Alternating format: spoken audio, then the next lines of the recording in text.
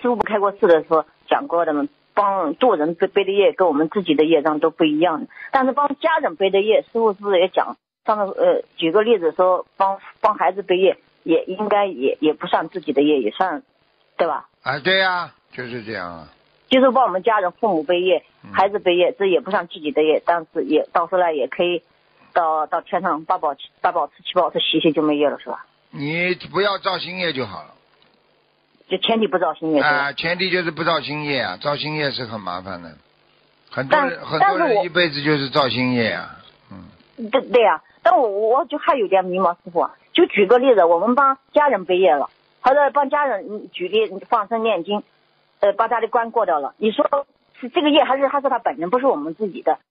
但是他们病好了呀，他真的是病好了，做了这个难关，但这个这个业还是我们在扛嘎扛过来了，是不是啊？他也扛的呀。你们帮他多帮他多少嘛？你们自己背多少呀？背的不多的呀。如果他好的话，你就不背了呀。他如果没好的话，还在背呀。听不懂啊？嗯嗯嗯，如果他今天病好了，那你就等于你这个给他的功德给他了，他拿到了就算了，结束了呀。那就是我们用我们自己的功德给他了，是吧哎、对呀、你要是你要是病还没好，那你还在给他呀。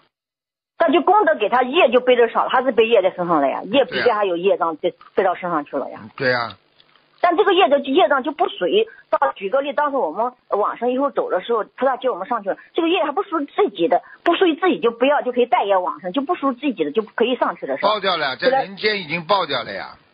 就爆掉，就可以可以飞到原来的果位上飞上去了，是吧？你已经爆掉了嘛，就没了呀。你你就哦剩下来就是功德了呀。听不懂啊？哦哎，哦哦哦，懂了懂了，哦懂了。